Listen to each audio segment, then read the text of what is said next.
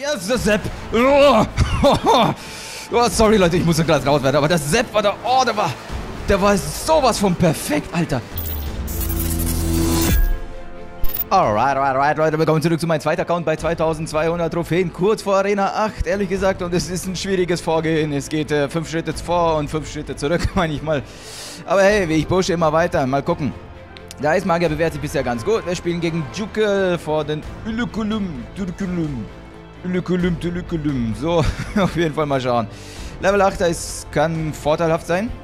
Wie immer setze ich meine Einheiten als erster, weil ich hoffe darauf, dass er pennt und mir dadurch Elixier schenkt, was er auch tut. Wie ihr seht, ich kriege zwei Elixier Bonus, ich kriege drei Elixier Bonus, ich kriege vier Elixier Bonus und schon hat sich der Giant von selbst finanziert. Muss nichts heißen, der kann jetzt irgendwie Level 10 Einheiten raushauen, das könnte genauso problematisch werden. Aber hey, ich habe einen Level 5 Giant, äh, beziehungsweise ich habe einen Giant umsonst, er nicht. Okay, die Hopp, der Sepp war umsonst und schon ist mein Push Gold. Der ist Gold. So, der Mini-Packer wird leider mal bei mir alles kaputt machen. Ich mache bei ihm aber auch alles kaputt und setze den zweiten Giant raus, einfach weil der Push gerade wunderschön ist. Äh... Okay, ah, Inferno hat er auch. Okay, keine Ahnung, warum du den vorher nicht gesetzt hast. Aber egal, gönn dir. 5 gegen 5, Giant gegen... Oh, gönn dir. Fuck drauf. Los geht's, weiter Push. Ich dachte, der Inferno wird den Giant kaputt machen, aber ey, Eismagier, beste Karte. Der hat aufgegeben. so schnell kann ein Arena 7 Match laufen. Ey, das, das, Alter, das lief butterweich. Ich könnte, ich hole mir darauf einen runter wahrscheinlich. Flawless. Turm abrasiert innerhalb ein paar Sekunden. Es war einfach butterweich. Wie gesagt, deswegen mag ich die Karte als erster zu setzen. Die pennen. Die, sehr viele Leute pennen dabei. Und deswegen gönne ich mir dieses Bonus-Elixier. Klappt nicht immer. Dann hat der Gegner vielleicht einen Vorteil. Und, ey, Prinz, Richtung Level 3. Eigentlich könnte ich mir so ein Meta-Deck aufbauen, was aktuell gerne gespielt wird halt. Äh, Riese, Prinz, Gift, Megalakain. Das sind so die Kombo. Aber der Prinz ist Level 2. Wie gesagt, ich könnte mir eigentlich so ein Meta-Deck aufbauen, was fast alle spielen aktuell in Arena 9. Gut, dass ich nicht wie jeder bin und verwende hier so ein richtiges Rotz-Deck inzwischen. Also inzwischen ist das Deck äh, für Arena 7 ungeeignet, ne? Aber hey, ich will euch zeigen, dass man selbst mit einem ungeeigneten Deck, das schwächer ist gegen andere Spieler, äh, trotzdem gewinnen kann. Beziehungsweise auch hochkommen kann, Richtung Arena 8, vielleicht sogar Arena 9. Und der pennt schon wieder. Ich sag's euch, setzt die Karten als erster, gönnt es euch. Äh, in Arena 9 macht das keine Sau, in Arena 7 macht das jede Sau. Und finde ich einfach gut.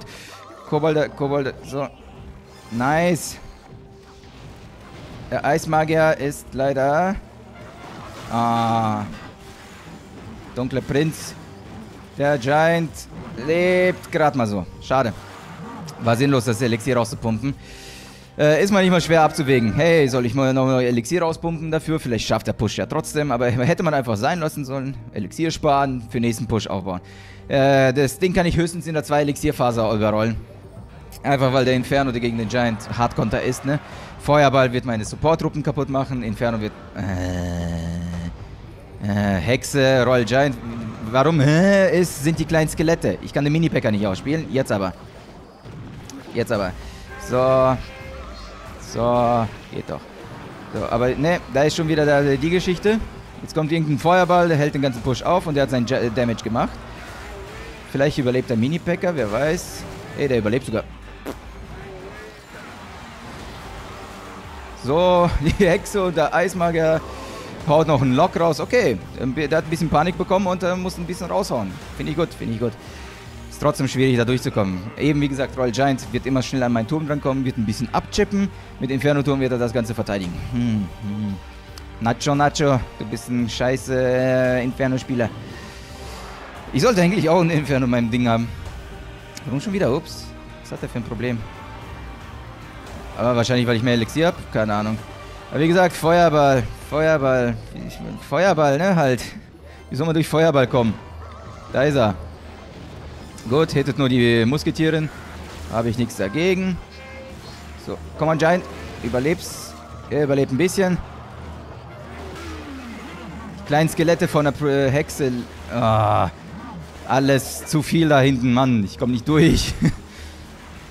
Kommt sein Royal Giant jetzt gleich an? Kommt er, kommt er, kommt er? Kommt er, kommt er? Nee, der haut erstmal die Hexe raus, ist klar.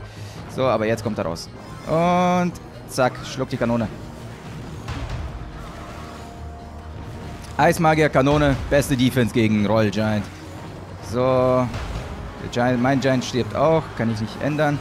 Er kann schon wieder ein bisschen chippen, da kommt der Feuerball, der alles hittet. Wirklich alles hittet. Gegner, what? What? No way, come on, come on, come on. Elixier, pumpt Elixier, was weiß ich. Macht das Ding kaputt. So schnell es geht. Ich weiß nicht, ob er es äh, aus Versehen, weil er sauer ist, aus welchen Gründen auch immer. Kann ich mir nicht vorstellen. Der ist vor, super im Vorteil gewesen. Egal. äh, ja. Skill. Purer Skill, Leute. So gewinnt man Matches. Alter. okay, finde ich gut. Braucht Lufteinheiten. Deswegen, deswegen ist diese Meta aktuell auch so beliebt. Äh, Riese und äh, Megalakain hinten dran. Äh, Lufteinheiten sind äh, ganz gut gegen Inferno-Spieler. Und wir kommen echt nah dran an Arena 8, ne? Dauert nicht mehr lange, noch 500 Folgen oder so. Keine Ahnung. Die Spieler werden ja nicht... Äh, schon wieder Hexe. Royal Giant oder äh, Giant, einen von beiden. Hat das Spiel gerade nicht gemerkt, dass ich gegen das Combo gewonnen habe? Es ist 1 zu 1 die gleiche Scheiße hier. Na, fast. Fast. So, der Giant stirbt, egal. Ist egal, ist egal. Weil ich snack mir seine Hexe. Und starten Push.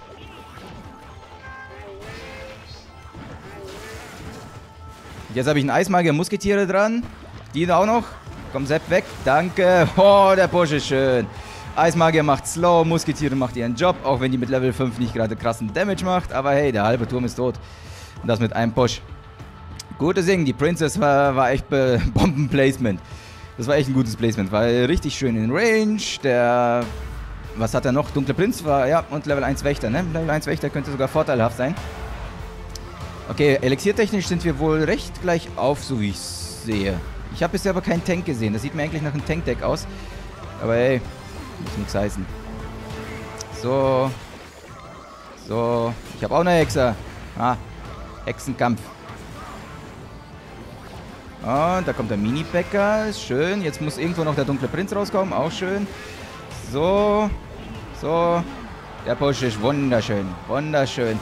Mini-Bäcker lebt noch. Hexe lebt noch. Die kleinen Skelette sind leider tot. Aber die Hexe und Eismagier, das ist ein Magier-Kombo. Flupp, flupp, flupp. Könnte sogar reichen für den Turm, oder? Ja, es reicht. Der Turm ist down. Nice. Level 9er mit... Oh, und da, da wastet er auch noch ein bisschen. Ich verstehe so sein Deck gerade nicht. Irgendwie fehlt da so eine Einheit, oder? Bin ich der Einzige, der das gefühlt, Gefühl hat. Irgendwie fehlt eine Einheit, als ob da irgendwas nicht in Ordnung ist. Zum Beispiel das hier vielleicht, aber hey. Kann er ruhig machen. Doppelprinz-Deck, aber irgendwie fehlt immer noch was, oder? Da fehlt doch irgendwie so das äh, Hauptding, das einen auf den Sack geht, weil gewöhnlicherweise gehen Karten, irgendwelche Decks immer auf den Sack. Äh, das, da, da ist nichts zum auf den Sack gehen. Das ist irgendwie komisch, sein Deck. Aber egal. Ey, ich finde es gut, wenn man unterschiedliche gegen unterschiedliche Decks spielen kann. So kann man echt äh, unterschiedliche Sachen sehen, weil in Arena, beziehungsweise in, äh, hier, Herausforderungen sieht man immer wieder nur die gleichen Meta-Decks. In der Arena sieht man immer wieder die gleichen Meta-Decks. Riese, Poison, Lava-Hund sind so aktuell die geilsten Viecher. Hier, schluckt die noch. Der hat kaum Damage machen können. Lief auch super. Lief super wie das erste Match. Wird das jetzt schon der Arena 8 Push oder was? Wird das jetzt schon der Arena 8 Push? Ein Match noch? Das kann ich irgendwie nicht glauben, weil das läuft zu gut. ich habe noch keins verloren. Das funktioniert eigentlich so nicht. Nee, da fehlen noch zwei. Außer ich kriege jetzt 41 Trophäen, was eher unwahrscheinlich ist. Okay, Level 8. Werden mehr. Werden mehr. In letzter Zeit hatte ich fast immer nur Level 9 und jetzt habe ich viele Level 8. Äh, meine Starterhand ist schwach. Diesmal, diesmal setze ich nichts. Ich habe echt nichts auf der Starterhand, was funktioniert. Äh, und der hat ein Luftdeck. Lavahund. Lavahund? Sieht nach La Lavahund nicht, aber Giant auf jeden Fall. So. Musketieren ist leider noch weit weg. Und der Babydrache stirbt, Gott sei Dank.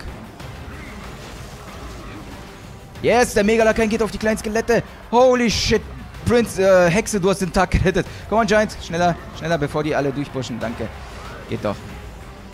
Alter, die Hexe hat den Tag gerettet. Ohne Scheiß. Die war super. Und jetzt macht noch die kleinen Ficker da kaputt. Nice. Nices Ding. Ohne Scheiß. Ich bin gerade voll weggeflasht. Dieser Megalak, äh, die Princess, äh, die Princess, die Hexe mit ihren kleinen Skeletten hat in der letzten Millisekunde das scheiß Match gerettet. Besser kann es nicht laufen. Darauf äh, hole ich mir keine. Es gucken Kinder zu. Kann ich solche Wörter sagen. oh, schönes Ding. Der haut noch ein Baby drauf und raus. Sepp. Ah, chill, easy going. Das Match sollte eigentlich durch sein. Ähm, ja, ich habe nichts gesagt. Sorry, sorry. Ich, die Gefühle sind gerade ein bisschen übergeschwappt. Es musste einmal kurz rausgekotzt werden. Dieses Match ist alles andere noch geschafft, ne? Der kann hier noch alles drehen. Ein guter Push kann das ganze Match drehen. Ich habe keine Ahnung, welche Seite ich pushe. Konzentriert er sich auf rechts, auf links oder wir äh, Ich gehe auf rechts. Just because. Ah, das ist, da ist es. Da, da, da ist das. Da ist das Ding. Da ist das Ding, Leute. So, Mini-Packer, come on. Yes, Mini-Packer ist dran, der Sparky ist down. Oh, super schön. Wunderschön. Wunderschön. Das Match ist in trockenen Tüchern. Der, der eine Kobold hat alles gerissen. Alter, das läuft so butterweich. Ich habe, glaube ich, noch nie so ein gutes Match gespielt wie dieses hier. Ohne Scheiß, es wird wahrscheinlich mein bestes Match in der History. Der haut noch eine Pumpe raus, die dir bei 40 Sekunden nicht viel bringt, Kollege. Pumpen 101. Nur sind die bei. So. Dann kommt nochmal der Sparky. Wir machen die gleiche Geschichte nochmal, ne? Einfach weil es funktioniert. Yes, der Sepp. Oh, sorry, Leute, ich muss ein Glas raus werden. Aber der Sepp war da. Oh, der war. Der war sowas von perfekt, Alter. Der war so Millisekunde davor zu schießen, ohne Scheiß. Gewöhnlicherweise kommt bei mir der Sepp immer ultra spät. Ich verkacke den Sepp immer bei den Sparky. Weil das Timing immer bei mir verkackt. Aber hey, die drei Skelette helfen und schade keine drei Kronen, aber hey. Man sollte nicht jammern wegen ein paar, wegen ein paar Kronen, ne? Alter, ich glaube, ich habe echt noch nie so ein gutes Match gespielt. Das Ding läuft, lief butterweich. Alles saß an seinem Platz, so wie es sitzen musste. Der Sepp zum Schluss war goldig und der Mini-Packer, wie er den vernichtet hat. Ein Match noch. Das wird der Arena 8 Push, oder? Er ist in Arena 8, Level 8 auf jeden Fall. Oh mein Gott, wird das Arena 8? Ich bin jetzt super hyped. Vielleicht, ich halte die Schnauze, epische Musik. Ihr seid's gewohnt bei mir. Mit epischer Musik wird eh alles besser. Go!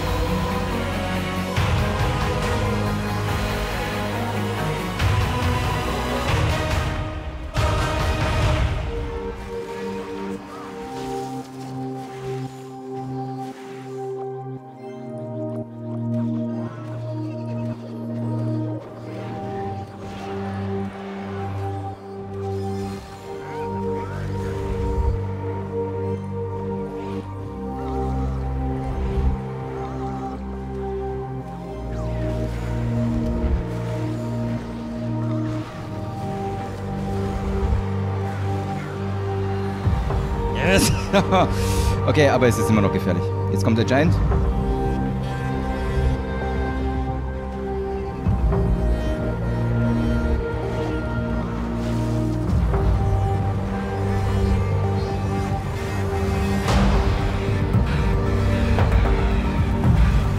Nein, der ist nicht in Range. Der ist nicht in Range. Doch, der ist in Pfeiler Range. Nein.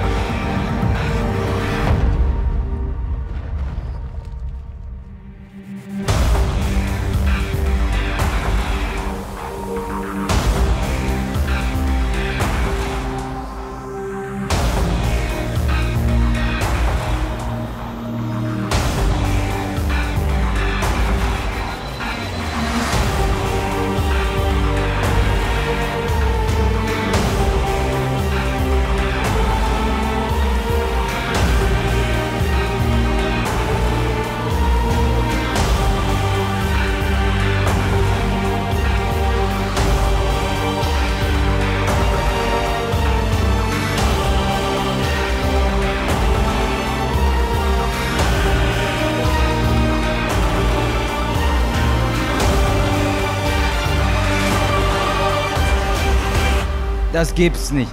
Das gibt's nicht. Das gibt's nicht. Das gibt's nicht. Oh, Mann. Oh, der letzte Push. Der hätte das gewinnen müssen können.